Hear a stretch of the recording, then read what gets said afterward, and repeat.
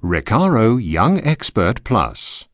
Only the correctly installed child safety seat offers optimum protection for the little passenger.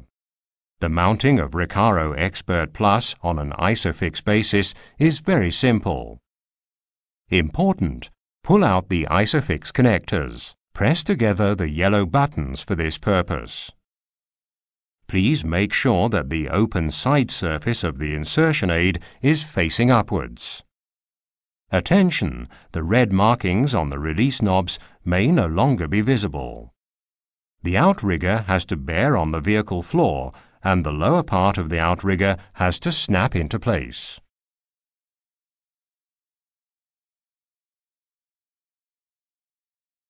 Check whether the shell fully snapped into place at the back and at the front by lifting. Make sure that you hear a clicking sound. The belts must be tightened. Now the Young Expert Plus is correctly installed.